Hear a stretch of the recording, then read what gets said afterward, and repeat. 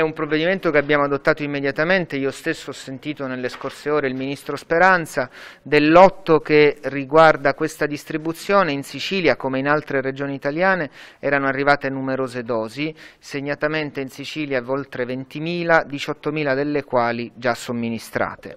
L'attenzione è massima, il governo nazionale ha chiesto ad AIFA e ad EMA di intervenire con rapidità, però noi dobbiamo proseguire in maniera responsabile perché tutti i cittadini siciliani, al pari dei cittadini italiani, hanno visto nella vaccinazione una speranza per poter ritornare alla normalità. E allora serve il massimo della chiarezza.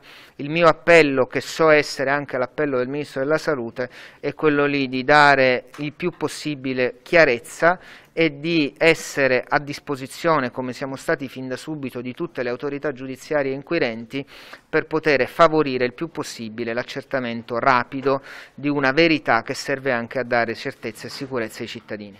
L'unica autopsia che sembra aver già dato una valutazione dice il contrario. Io penso ci vuole il massimo della prudenza. Sono migliaia i cittadini di tutto il mondo che hanno avuto la somministrazione di questo vaccino e bisogna saper pesare bene le parole e avere fiducia nell'attività tanto degli scienziati quanto della magistratura.